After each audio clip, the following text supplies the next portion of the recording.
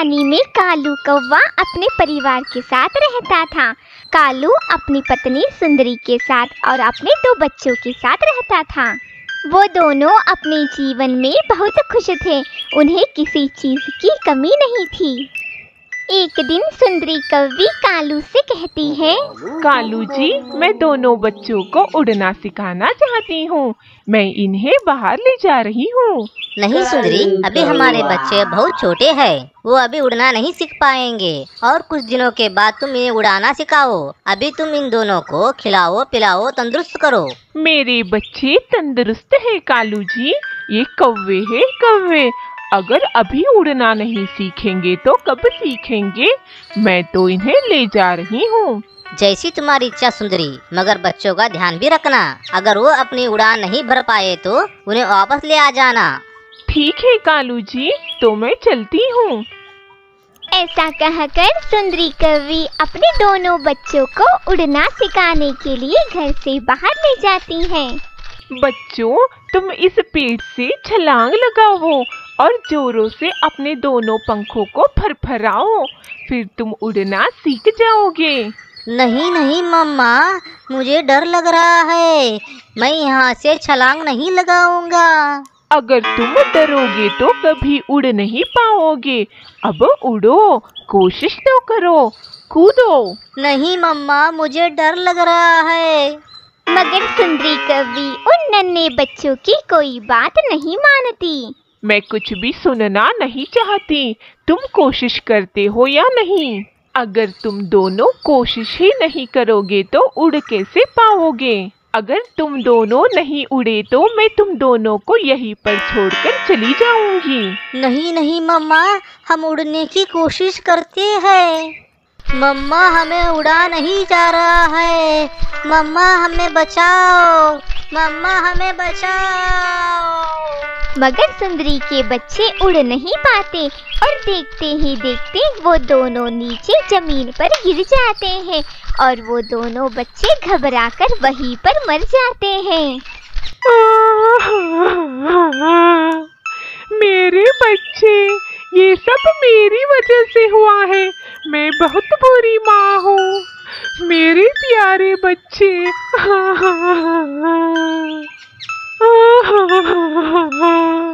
मुझे ये बात कालू को बतानी होगी।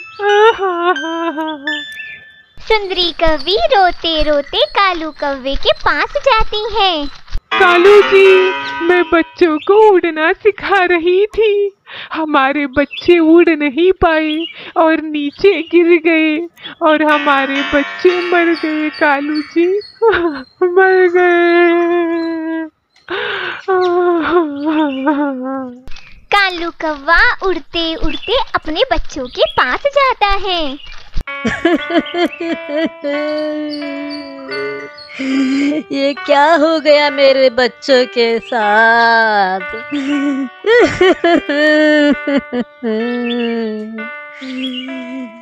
ये सब तुम्हारी वजह से हुआ है, सुंदरी। मैंने तुम्हें पहले ही कहा था कि हमारे बच्चे अभी छोटे हैं, मगर तुम मुझे ही चुप करा कर उन्हें यहाँ पर ले आई। अब देखो क्या हो गया। हमारे बच्चे मर गए, सुंदरी। हमारे बच्चे मर गए। इसके लिए मैं तुम्हें कभी माफ़ नहीं करूँगा सुंदरी। मुझे तुम्हारे साथ नहीं रहना है। मैं तुम्हें छोड़कर जा रहा हूँ। खबरदार जो मुझे रोकने की कोशिश की तो।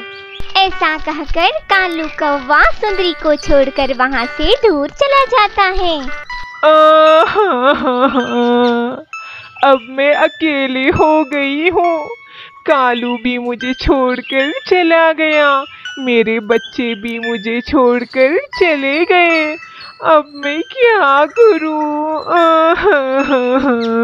अगर मेरे बच्चे इस जंगल में मरे हैं तो मैं इस जंगल में भी किसी बच्चों को रहने नहीं दूँगी। सब बच्चों को मार दूँगी। सबको मरना होगा। हा हा हा हा हा। सबको मरना होगा। सुंदरी कवि अपने बच्चों को तो पहले ही खो चुकी थी। फिर कालू भी सुंदरी को छोड़कर चला जाता है।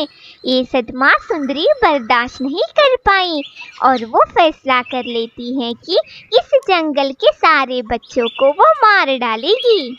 सुंदरी कवि अब जंगल में किसी से भी बात नहीं करती थी। वो तो बस बच्चों को मारने के लिए ही बाहर निकलती थी। एक दिन सारे जंगल के पक्षियाँ इकट्ठे होकर बातें करते हैं। चिड़िया बहन हमारे जंगल के सभी बच्चों को ना जाने कौन मार रहा है। हाँ कबूतर तुम ठीक कह रहे हो।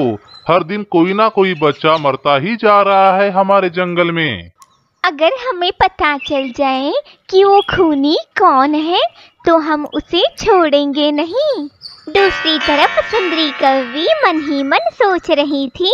आखिर में कब तक बच्चों को ढूंढ ढूंढ कर मारती रहूँगी? मुझे कुछ ऐसा करना होगा कि पक्षियाँ डर के मारे बच्चा ही ना पैदा करे। रात होने के बाद जंगल के पक्षियों के घोंसले में जाकर ही उनके बच्चों को मार देती हूँ। देखते ही देखते रात भी हो जाती है। फिर सुंदरी कवि कबूतर के घर जाती है। अरे, कबूतर और उसकी पत्नी कितने आराम से सो रहे हैं अपने बच्चों के साथ। सोए रहे कबूतर, मेरा काम बड़ी आसानी से हो जाएगा। बेचारे बच्चों को मार दूँगी। फिर सुंदरी कवि वहीं पर कबूतर के बच्चों को अपने चोच से वार कर देती है जिससे वो बच्चे मर जाते हैं। और सुंदरी कवि उन बच्चों को मारकर अपने घर वापस आ जाती है। फिर अगली सुबह भी हो जाती है। आह, मेरे बच्चों को किसने मार दिया? इन बच्चों ने किसी का क्या बिगाड़ा है? मेरे बच्चे तो अभी उड़ना भी नहीं जानते। संभालो अपने आप को, लूसी बहन। हिम्मत रखो, हम उस कातिल को छोड़ेंगे नहीं। कबूतर और लीसा कबूतर को रोते देख सुंदरी कवि बहुत खुश हो जाती है। जब दूसरों के बच्चों को मैं उड़ते देखती हूँ तो मेरा खून खोल उठता है। आज से मैं हर रोज रात को चुपचाप बच्चों को मार दिया करूँगी। फिर देखते ही देखते रात हो जाती है। सुंदरी कवि इस बार तोते के घर जाती है और तोते के बच्चों को मारकर वहाँ से चली जाती है। इसी तरह से सुंदरी कवि जंगल के किसी न किसी पक्षी के बच्चों को मार देती थी। इसी तरह से सुंदरी कवि बुलबुल के बच्चों को भी मार देती है और रानी चिड़िया के बच्चों को भी मार देती है। कबूतर भैया, हमारे जंगल के सभी बच्चों को तो उस कातिल ने मार दिया है। अब हम उस खूनी को कैसे ढूंढेंगे? हमारे बच्चों को उसने मार दिया। अरे पक्षिया, अब बहुत हो गया। इस खूनी का अत्याचार। हर रोज एक एक करके हमारे बच्चों को चुन चुन कर मार रहा है ये खूनी। हम उसे छोड़ेंगे नहीं। कुछ करना तो पड़ेगा। हाँ मेरे पास एक प्लान है जिससे हमें पता भी चल जाएगा कि वो खूनी कौन है और उस खूनी को सजा भी मिल जाएगा। तो बताओ बताओ बुलबुल। तो सुनो सब पक्षियों। हम चील के बच्चों को अगवा करके एक पेड़ के ऊपर छोड़ देंगे और रात होने के बाद चील को बता देंगे कि उसके बच्चे कहाँ पर हैं। फिर वो खूनी और चील आमने सामने होंगे। हाँ हाँ ये प्लान तो बिल्कुल ठीक है। फिर सभी पक्षियाँ चील पर नज़र रखते हैं। जब चील अपने घोंसले से बाहर निकलती है तो ये सभी पक्षियाँ मिलकर चील के बच्चों को अगवा कर लेते हैं। जल्दी चलो पक्षियों, अगर चील ने हमें यहाँ पर देख लिया तो हमारा डिनर कर लेगी। कबूतर भैया, वो देखिए, उस पेड़ पर एक खाली घोंसला है। हम इन बच्चों को वहीं पर छोड़ देते हैं। हाँ हाँ तो चलो उसी पेड़ पर छोड़ देते हैं। फिर वो पक्षियाँ उन चील के बच्चों को उस घोंसले में छोड़कर वहाँ से चले जाते हैं। फिर देखते ही देखते रात भी हो जाती है। सुंदरी कव्वी अपने घोंसले से बाहर निकलती है। दूसरी तरफ़ जंगल के सभी पक्षियाँ चील से कहते हैं चील दीदी, क्या आप अपने बच्चों को ढूंढ रही हैं? हाँ हाँ मेरे बच्चे शाम से गायब हैं। उन्हें तो उड़ना भी नहीं आता। ना जाने इस जंगल में इतनी हिम्मत किसमें आ गई है जो चील के बच्चों को अगवा कर ले। अगर वो मेरे हाथ लग जाए तो उसे छोड़ूँगी नहीं। चील दीदी, जब शाम को हम सभी पक्षियाँ भोजन ढूंढकर अपने घोंसले में वापस जा रहे थे तो हमारी नज़र आपके बच्चों पर पड़ी। मगर हम ये नहीं जानते थे कि आपके बच्चे अगवा हो गए हैं। कहा देखा है तुमने मेरे बच्चों को? आम के पेड़ के ऊपर देखा था चील दीदी। मैं अभी जाती हूँ मेरे बच्चों के पास। न जाने वो ठीक होंगे या नहीं। ऐसा कहकर चील वहाँ से उड़ती है। दूसरी तरफ़ सुंदरी कवि की नज़र उन नन्हे चील के बच्चों पर पड़ जाती है। अरे ये तो चील के बच्चे हैं और चील भी अपने घोंसले में नहीं है। आज तो मैं चील के बच्चों को मार ही डालूँगी। ऐसा कहकर सुंदरी कवि उन नन्हे बच्चों पर वार करने ही वाली थी कि वहाँ पर चील आ जाती है। रुक जा कव्वी, तेरी इतनी हिम्मत कि तू मेरे बच्चों को मार रही है। आज तो तू ज़िंदा नहीं बचेगी। ऐसा कहकर चील सुंदरी पर वार कर देती है और सुंदरी कवि को मार डालती है। वहीं पास के पेड़ पर छुपकर देख रहे थे जंगल के सारे पक्षियाँ। अरे, सुंदरी बहन ही खूनी है जो हमारे बच्चों को मार दिया है उसने। सुंदरी बहन को जरा भी दया नहीं आई हमारे बच्चों को मारते हुए। अरे, ये सुंदरी पागल हो गई है।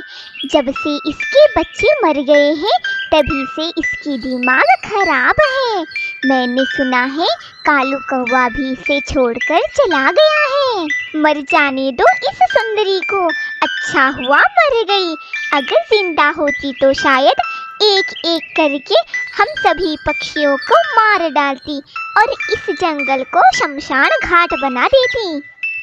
हमारा कालू कौवा इस कहानी में अपनी पत्नी सुंदरी कौवी का जोरू का गुलाम बन गया है। चलिए देखते हैं। उस जंगल में कालू कौवा अपनी पत्नी सुंदरी कौवी के साथ रहता था। कालू कौवा तो अपनी पत्नी को देखकर ही डरता था। कालू कौवा अपनी पत्नी की सारी बात मानता था और सारे घर के काम भी करता था। तो इस कौवे को हम सब क्या कहते हैं? जोरू का गुलाम। हर रोज भोजन भी कालू कौवा ही लाया करता था। सुंदरी तो बस आराम ही आराम करती थी। एक दिन कालू कौवे के दोस्त कबूतर और तोता कालू कौवे के बारे में बात कर रहे थे। तोते भाई क्या तुम्हें पता है? हमारा कालू जोरू का गुलाम बन गया है। हर वक्त अपनी पत्नी की सेवा करता ही रहता है। अरे कबूतर ये सब तो ठीक है। मैंने तो सुना है कि सुंदरी बहन कालू को मारती भी है। बेचारा कालू कौवा उसकी तो किस्मत ही खराब है। जो कालू कौवे को इतनी जालिम पत्नी जो मिली। बेचारा कालू कौवा सुंदरी तो उसे हर बात पर टोकती है। और सुनने में आया है कि कालू को मारे बिना सुंदरी को नींद भी नहीं आती है। पत्नी के रूप में डायन मिली है हमारे कालू को। हाँ हाँ बेचारा एक डायन से शादी कर बेटा है। मैं तो कालू कौवे के घर के आसपास भी नहीं भटकता। क्या पता सुंदरी हमें भी मारने लग जाए। हम भी तो कालू के दोस्त है। दूसरी तरफ़ कालू कौवा जो अपनी पत्नी की सेवा कर रहा था। कालू तुम्हारे पंख मर गए हैं क्या? जो तुम इतना कम अपना पंख चला रहे हो? देखो तो सही गर्मी की वजह से मैं कितनी पानी पानी हो रही हूँ। सुंदरी तुम्हें हवा दे देकर मेरे पंख में दर्द होने लगा है। आखिर मैं भी तुम्हारी तरह एक पक्षी हूँ। अरे कालू डायलॉग तो बहुत अच्छा था। कहाँ से सीखा? तुम मेरे दर्द का मज़ाक उड़ा रही हो। मज़ाक उड़ा रही हूँ? अगर तुम्हें जंगल में बीच सड़क पर झाड़ू से मारूँगी तो मज़ाक भी उड़ेगा और तुम्हारा एक पंख भी टूटेगा। अरे सुंदरी तुम इतना गुस्सा क्यों हो रही हो? मैं तो बस मज़ाक कर रहा था। मेरे पंख तो पत्थर जैसे है। ठीक है ठीक है। तो चलाओ अपना पंखा। मुझे नींद आ रही है।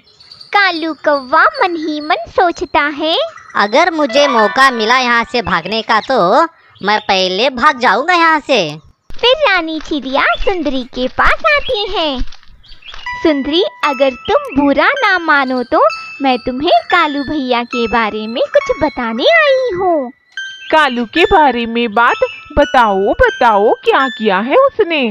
मैंने सुना है कि तुम कालू के साथ बहुत बुरा व्यवहार कर रही हो। और तो और बात बात पर टोक भी रही हो और मार भी रही हो। क्या तुमने कहीं सुना है सुंदरी? एक पत्नी अपने पति को मारते हुए। अब तो ये बात सारे जंगल में फैल चुकी है सुंदरी। इस सब में तुम्हारा ही तो नाम बदनाम हो रहा है। सुधर जाओ सुंदरी, अपने पति को इज़्ज़त दो। चिड़िया बहन जो तुमने सुना है, वो सही सुना है। मुझे सुंदरी मारती है और घर के सारे काम मुझसे ही करवाती है। बस करो कालू जी, अगर एक शब्द भी बोले तो मेरा झाड़ू बोलने लग जाएगा। और हाँ रानी चिड़िया, ये हमारे पति पत्नी के बीच की बात है। तू मुझे मत सिखा कि पतियों को मारना नहीं चाहिए, उन्हें इज़्ज़त देनी चाहिए। चिड़िया अगर तुम यहाँ से नहीं गई तो कालू के साथ झाड़ू लेकर मैं तुझे भी मारूँगी। जाती है या लू झाड़ू? सुंदरी कवि की बातें सुनकर रानी चिड़िया वहाँ से चली जाती हैं। कालू चिड़िया के सामने तो तुम्हारी जबान कैची जैसी चल रही थी। अब करो मेरी बुराई चलो शुरू करो। मैं भी सुनना चाहती हूँ। मैंने तो तुम्हारी कोई बुराई नहीं की। मेरी बुराई नहीं कर रहे थे। झूठ कह रहे हो। सामने ही झूठ कह रहे हो तो पीछे कितनी बार झूठ बोला होगा तुमने। तुम्हें तो मैं अभी सबक सिखाती हूँ। सुंदरी कवि कालू कौवे को झाड़ू लेकर मारने लग जाती है। सुंदरी मुझे मत मारो। मैं आगे से किसी को भी कुछ नहीं कहूँगा। मुझे छोड़ दो मुझे छोड़ दो और मुझे माफ़ कर दो सुंदरी प्लीज़। आज तो छोड़ रही हूँ तुम्हें। आइंदा मेरी बुराई किसी भी पक्षी के सामने किया तो मैं तुझे मार डालूँगी। बेचारा कालू कौवा। सुंदरी के हाथों से मार खाकर बहुत ज़्यादा डर जाता है। इसी तरह से कुछ दिन बीत जाते हैं। एक दिन सुबह कालू कौवा भोजन के तलाश में निकला था। कालू कौवे को वहाँ पर उसका दोस्त तोता मिल जाता है। अरे कालू कौवे, तुम्हें देखे तो कितने दिन हो गए। क्या हाल बना दिया है तुम्हारा सुंदरी बहन ने? और कालू कौवे सुना है अब तो सुंदरी बहन तुमको मारने भी लगी है। हर समय काम काम ही करवाती है। तुम्हारी ये हालत मुझसे देखी नहीं जा रही है। मेरे पास एक प्लान है तुम्हारे लिए। क्या प्लान है तोते? जल्दी बताओ। कालू कौवे मेरा एक दोस्त था। उसकी पत्नी भी सुंदरी कौवी जैसी ही थी। वो मेरे दोस्त को बहुत मारती थी। और तो और उसने भी मेरे दोस्त को नौकर बना दिया था। मेरे दोस्त ने अपनी पहली पत्नी से तंग आकर दूसरी शादी कर ली और पहली पत्नी को छोड़ दिया। अब वो अपने जीवन में बहुत खुश है। मैं तो कहता हूँ, तुम भी दूसरी कवि से शादी कर लो। फिर तुम्हारे जीवन में भी खुशियाँ आ जाएँगे। शादी हो जाने के बाद तुम सुंदरी कवि को डाइवर्स दे देना। अरे वाह तोते भैया, क्या प्लान बताया है तुमने? मैं दूसरी शादी करने के लिए तैयार हूँ। बस मुझे सुंदरी से छुटकारा मिल जाए। मगर तोते मैं पहले से शादीशुदा हूँ मुझसे कौन शादी करेगा? मैं एक कौवी को जानता हूँ वो दिखने में तो बहुत सुंदर है। अगर मैं उसे कहूँगा कि वो तुमसे शादी कर ले वो ज़रूर तुमसे शादी कर लेगी। अभी मैं चलता हूँ कालू। कल मैं इसी समय उस कौवी को यहाँ पर ले आऊँगा। तुम भी इसी समय यहाँ पर आ जाना। ऐसा कहकर वो तोता वहाँ से चला जाता है। और कालू कौवा भी भोजन लेकर सुंदरी कवि के पास चला जाता है। कालू तुम्हारा चेहरा इतना खिला खिला क्यों है? बड़े खुश लग रहे हो। क्या बात है? कुछ भी नहीं। तुम्हें देखकर तो लगता है तुम्हारे दिमाग में कुछ तो खिचड़ी पक रही है। नहीं सुंदरी कोई बात नहीं है। मैं क्या खिचड़ी पकाऊँगा? हर दिन तो तुम मेरा ही खिचड़ी बनाती हो। कालू, तुम ना कॉमेडी कवे हो। मगर एक बात तो तुमने सही कहा है कि हर रोज मैं तुम्हारा खिचड़ी बनाती हूँ। मुझे तुम्हारा खिचड़ी बनाने में बहुत मज़ा आता है। अगली सुबह तोता गोरी कवि को लेकर कालू कौवे के पास आता है। कालू कौवा गोरी कवि को देखकर खुश हो जाता है। यार कालू यही है वो कौवी। इसका नाम गोरी कवि है। इसके बारे में मैंने तुमको कल बताया था ना। हाँ हाँ तोते। गोरी जी तो सच में बहुत सुंदर है। आप भी कालू जी। आपके बारे में तोते भैया ने मुझे सब कुछ बताया है। वो सब जानते हुए भी मैं आपसे शादी करना चाहती हूँ। आप सुंदर भी हो और सुंदर के साथ साथ बहुत अच्छी भी हो। मैं भी आपसे शादी करने के लिए तैयार हूँ। मैंने कहा था ना कालू तुम्हें मेरी दोस्त तुमसे शादी करने के लिए मान जाएगी। हाँ हाँ यार तुम्हारा बहुत बहुत शुक्रिया। फिर जंगल के सारे पक्षियाँ भी आ जाते हैं। अरे तुम सब यहाँ क्या कर रहे हो? इन सबको यही मैंने ही बुलाया है। आखिर सभी को पता चलना चाहिए कि कालू की दूसरी शादी हो रही है। आपका फैसला बिल्कुल सही है कालू भैया। उस रिश्ते का क्या मतलब? जिसमें प्यार ना हो इज़्ज़त ना हो और एक पत्नी पति को मारे इससे तो अच्छा है कि आप गोरी कव्वी से शादी कर ले। हमारी गोरी बहन बहुत अच्छी है। हाँ कालू तुमने बिल्कुल ठीक सोचा है उस डायन को छोड़ने के बारे में। हम सब पक्षियाँ तेरे साथ है। फिर अगले दिन जंगल के सभी पक्षियाँ सज धज के कालू कव्वे की शादी में जा रहे थे। अरे तुम सभी पक्षियाँ सज धज कर कहाँ जा रहे हो? क्या जंगल में किसी की शादी हो रही है? हाँ सुंदरी बहन जंगल में शादी हो रही है। किसकी शादी हो रही है चिड़िया? और मुझे पता भी नहीं। हमारे कालू भैया की दूसरी शादी हो रही है सुंदरी बहन। अपनी जबान संभाल कर बात कर चिड़िया वरना तेरा ये जबान जला दूँगी। मैं सच कह रही हूँ सुंदरी बहन आप इतना जुलम करती हैं कालू भैया पर वो आपसे तंग आ गए थे और उन्होंने फैसला कर लिया कि वो दूसरी शादी कर ही लेंगे। कालू ऐसा नहीं कर सकता। हमारा तो लव मैरिज हुआ था। अब वो मुझे छोड़कर दूसरी शादी कैसे कर सकता है? आपका लव मैरिज हुआ है ना, सुंदरी बहन? तो आप मुझे बताइए, वो कौन सी पत्नी है जो अपने पति को सुबह से शाम तक सिर्फ़ काम काम ही करवाती है। और ऐसी कौन सी पत्नी है जो अपने पति को हर रोज झाड़ू से मारती है? मुझसे बहुत बड़ी गलती हो गई चिड़िया। मुझे माफ़ कर दो। मैं सच में कालू से बहुत प्यार करती हूँ। मैं उनके बिना रह नहीं सकती। मुझे उनसे बात करनी है। प्लीज़ मुझे उनके पास ले चलो चिड़िया। मैं तुम्हारे पैर पड़ती हूँ। ठीक है सुंदरी बहन। चलिए मेरे साथ। दूसरी तरफ़ कालू कौवा और गोरी कवि सज धज के शादी के मंडप पर जा ही रहे थे कि सुंदरी कवि वहाँ आ जाती है। कालू ये तुम क्या कर रहे हो? हमने तो एक दूसरे से प्यार करके शादी की थी ना? तो फिर ये तुम इस तरह से छोड़कर दूसरी शादी कर रहे हो? क्या करूँ सुंदरी? पहले जैसा प्यार अभी कहाँ है हमारे बीच में? तुम तो मुझे हर रोज मारती रहती हो। मैं आपसे बहुत प्यार करती हूँ, कालू। मैं आपके बिना रह नहीं सकती। मैं आपसे वादा करती हूँ कि मैं आपको कभी नहीं मारूँगी, कभी नहीं डांटूँगी। अगर आपने इस कवि से शादी कर लिया तो मैं उसी मंडप पर मर जाऊँगी। मुझे माफ़ कर दो, कालू। मैं तुम्हारे पैर पड़ती हूँ। मैंने तुम्हें माफ़ कर दिया, सुंदरी। मगर मैंने भी इस कव्य से वादा किया है कि मैं इस कव्य से शादी करूँगा। नहीं नहीं कालू ऐसा मत कहो। मैं तुम पर कभी हाथ नहीं उठाऊँगी। जैसे तुम कहोगे मैं वैसा ही करूँगी। हर रोज भोजन भी मैं ही लाऊँगी।